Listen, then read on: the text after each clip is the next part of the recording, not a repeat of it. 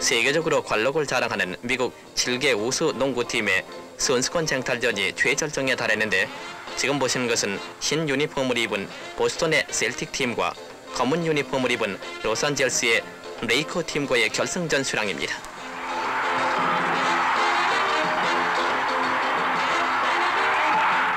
로산젤스 팀의 득점 선수인 베일러 군의 활약이 눈에 띄고 보스턴의 쿠시 선수, 로산젤스의 러셀 선수 등의 화인 플레이를 보여주는 가운데 게임이 끝날 무렵까지 스코어는 100점에까지 올라 막상막하 승부의 예측을 불허야 했습니다.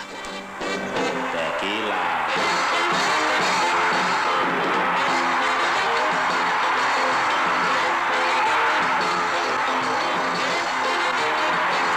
드디어 게임은 110대 107 보스턴 팀의 승리로 끝났습니다. 이로써 미국 농구협회 주최인 직업 농구 선수권 대회의 영광의 우승은 보스턴 셀틱 팀이 차지했습니다.